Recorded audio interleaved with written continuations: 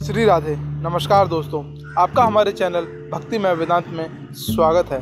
दोस्तों, आपको पता है कि मरने से पहले कर्ण ने मांगे थे श्री कृष्ण से तीन वरदान, जिन्हें सुनकर दुविधा में पड़ गए थे भगवान श्री कृष्ण महाभारत के पात्रों में कुछ पात्र ऐसे हैं जो सदियों से चर्चा का विषय रहे हैं। श्री कृष्ण के अलावा पांडव महाभारत के मुख्य नायकों के रूप में जाने जाते हैं, लेकिन कौरवों का साथ देने के बावजूद दानवीर कर्ण को आदर भाव के साथ देखा जाता है। उनके साथ हुए अन्याय के कारण अधिकतर लोग उनके प्रति सहानुभूति के भाव रखते हैं। लेकिन क्या आप जानते हैं कि श्री कृष्ण भी उनके सिद्धांतों और नैतिक मूल्यों के कारण उन्हें वीर योद्धा मानते थे?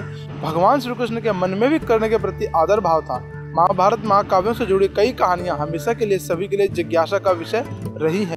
ऐसी एक रोचक कथा के अनुसार श्री कृष्ण ने अर्जुन के प्राण बचाने के लिए इंद्र के साथ मिलकर छल किया और छल से कर्ण का कवच और दिव्य कुंडल ले लिया। लेकिन इसके बाद भी श्री कृष्ण कर्ण के पास उसकी परीक्षा लेने आए थे। जिस परीक्षा में कर्ण सफल हुए थे, तब श्री कृष्ण ने कर्ण से प्रभावित होकर वरदान मांगने को कहा। आइए हम जानते हैं, आपको बताते हैं वो क्या कहानी थी। दोस्तों, जब कर्ण मृत्युशैया पर थे, तब भगवान कृष्ण ने कर्ण के दानवीर की बात कही, जिससे अर्जुन को बड़ा अचंभा हुआ। उन्होंने कहा, अभी भी ये सबसे बड़ा दानवीर ही कहलाएगा? तब भगवान ने उनकी परीक्षा ली और भगवान एक ब्राह्मण का रूप लेकर गए और कृष्ण उनके पास जाकर उनके दानवीर होने की परीक्षा लेने के लिए आए। कर्ण ने कृष्ण को कहा कि उसके पास देने के लिए कुछ भी नहीं है। ऐसे में कृष्ण ने उनके, उनका सोने का दांत मांग लिया। कर्ण ने अपने समीप पड़े पत्थर को उठाया और उससे अपना दांत तोड़कर कृष्ण को दे दिया। कर्ण ने एक बार फिर अपने दानवीर होने का प्रमाण दिया जिससे कृष्ण काफ़ी प्रभावित हुए।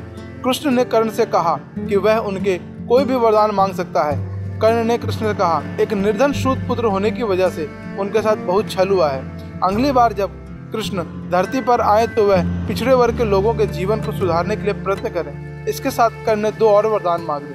दूसरे वरदान के रूप में कर्ण ने कहा, अगले जन्म में कृष्ण उन्हीं के राज्य में जन्म ले। और तीसरे वरदान में उन्होंने कृष्ण से कहा, उनका अंतिम संस्कार ऐसे स्थान पर हो जहाँ पर कोई पाप न हो। उनकी इस इच्छा को सुनकर कृष्ण दुविधा में पड़ गए, क्योंकि पूरी पृथ्वी में ऐसा कोई भी स्थान नहीं था जहाँ एक भी पाप नहीं हुआ हो। कोई ऐसी जगह नहीं होने के कारण भगवान कृष्ण ने जब देखा कि केवल एक सुई के बराबर एक ऐसी ज़मीन है जो जहाँ पर पाप नहीं हुआ है, तब भगवान कृष्ण ने वहाँ पर सुई को लगाया और उस सुई के ऊपर अपना हाथ रख के उस हथेली में दानवीर कर्ण का अंतिम संस्कार किया। तो दोस्तों, ये थे वो तीन वरदान जिसको कर्ण ने भगवान श्री कृष्ण से मांगा।